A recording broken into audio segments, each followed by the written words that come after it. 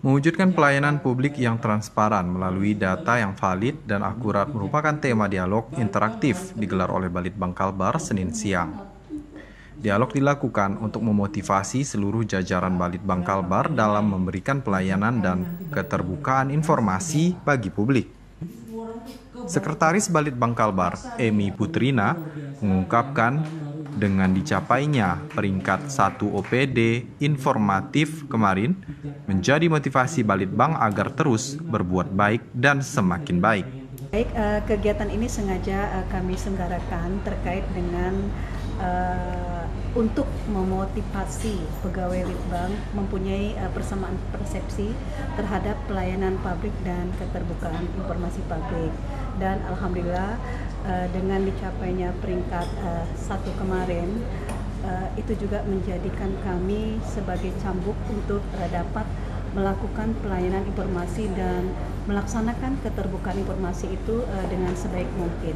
Sementara itu, Kepala Ombudsman RI Perwakilan Kalbar, Agus Priyadi mendorong agar ke depan pelayanan publik sehari-hari di Balitbang semakin baik.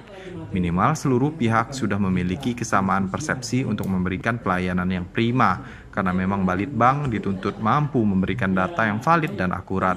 Ombudsman terus mendorong ini dan uh, yang paling terpenting adalah pelayanan sehari-harinya satu persepsi ini uh, ke depannya dalam hal mengembangkan Balitbang dan berkenaan dengan data valid tadi uh, dia tentu harus menyediakan data yang uh, valid dan akurat. Walaupun kita juga masih uh, berkoordinasi dengan banyak lembaga lainnya ada BPS ada dinas OPD yang lainnya. Tapi setidaknya saya lebih mengedepankan data yang update ya Koordinator Bidang Penyelesaian Sengketa Informasi Komisi Informasi Kalbar, Katarina Penser Istiani, menambahkan ASN harus dimotivasi untuk terus melakukan pelayanan yang terbaik. Hal ini tentunya dapat dicontoh oleh OPD lain sehingga masyarakat mudah mendapatkan keterbukaan informasi pada suatu OPD.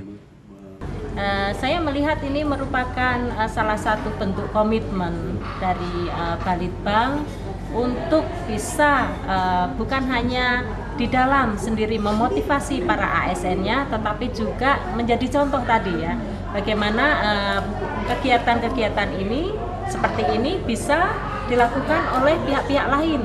Karena dengan uh, melihat dari dalam diri sendiri uh, mereka bisa uh, melakukan pembenahan pembenahan uh, pelayanan ya terkhusus pelayanan informasi. Dan uh, seperti ini juga selain komitmen saya melihat ini menjadi satu inovasi. Bagaimana uh, Balitbang punya ide ya yang ini cukup brilian. Uh, kegiatan seperti ini uh, itu tadi bukan hanya soal pengembangan tetapi juga uh, kegembiraan dalam pelayanan informasi men-share apa yang menjadi uh, informasi yang mereka miliki maupun ide-ide yang mereka punya bisa di-share ke pihak lain. Septapon TV memberitakan.